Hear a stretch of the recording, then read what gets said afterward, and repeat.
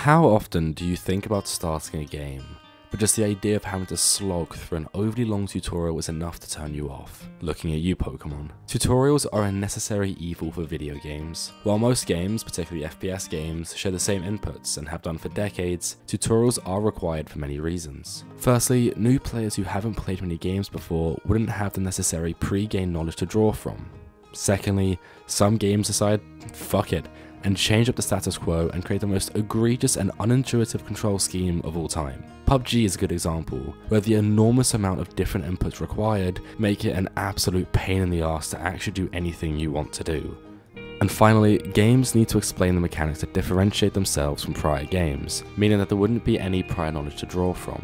One example of where this isn't done well is Metal Gear Rising where the blocking mechanic is so poorly explained even though it's pivotal to the gameplay itself.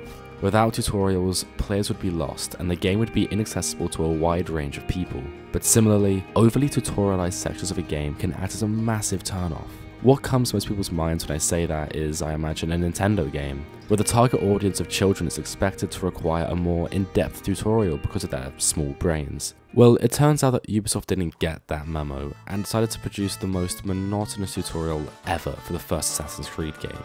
Every single detail about the game is explained to you in excruciating detail. For God's sake, I don't need to be taught how to look at things.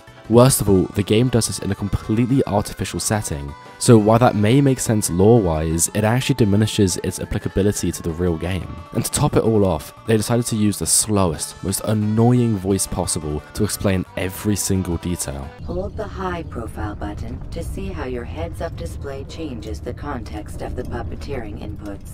While this issue was rectified in later games, such as Black Flag's tutorial which has the player explore an island after a shipwreck, even the idea of replaying Assassin's Creed 1 puts my brain to sleep. So, how can a tutorial be done well? If they are necessary for some but not for most, how can you appeal to everyone? There's always the optional tutorial, which some games, such as Elden Ring, provide, but well, gamers are egotistical. Instead, I prefer a tutorial which is able to act as not just a list of button inputs, but actual teaching of the world itself. When the tutorial is blended organically into the world or the gameplay, it means that the players who don't require it still have something to gain. To this end, the game that comes to mind is Bioshock Infinite.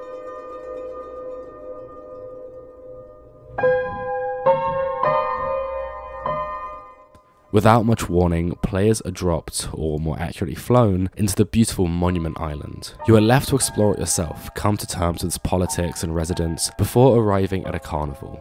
This is where the actual tutorial begins, although some players may have missed it entirely. Each stand offers a minigame of sorts, which is used to tutorialize the player on different mechanics. There's shooting galleries to come to terms with how the shooting feels in the game. There's also stands to try out the different power-ups, known as Vigors, which the player can unlock later in the game. This is an excellent way to get the players to proactively explore the world and learn about the game's systems and mechanics at the same time.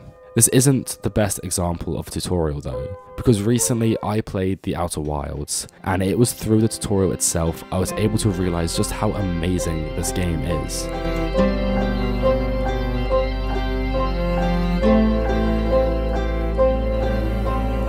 The game opens with nothing crazy in particular to note of.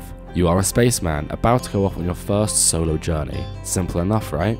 You have to walk over to the launch codes, and once you've done that, you're off to explore the solar system. If you want, it can be over in 5 minutes tops. But this opening area is actually the most effective and enjoyable tutorial I have ever played. You go around talking with the locals, you learn your character's relationship to them, you learn about the planet that you're on and the planets you're going to, you learn about the game's worlds and then they will ask you to play a game, or tell you about what they saw on the other side of the planet, or ask you to help them out with fixing a broken machine. This is where the game teaches you about its mechanics. You play hide and seek, but have to use the signal scope to listen out for radios. This is what you'll be doing in the game to find the other musicians. You hear about the other side of the planet, and so you use your scout camera to explore it. This is what you'll be doing in the game to explore crevices and hard to reach places on the planets. You can fix the broken machine, and this is what you'll be doing in the game to fix your ship and to get to grips with the maneuvering around in the suit. You get to learn about the game's mechanics organically, and at the same time, learn about the world and its inhabitants. By making the tutorial tied to the actual gameplay itself, it makes it more applicable and understandable for new players. And by having it tied to story and to gamify it, such as with the hide and seek, it becomes enjoyable for experienced players. Outer Wilds is a fantastic example of a tutorial done right. But it's not alone. Dark Souls North Undead Asylum, Breath of the Wild Great Plateau, Undertale's Flowey. When a game chooses to stray from the blocks of expository, tutorialized text and actually give the control to the player, they're gonna learn a lot more, whilst also being able to actually revisit the game again in the future. Put the power in the hands of the players and it can only be a good thing.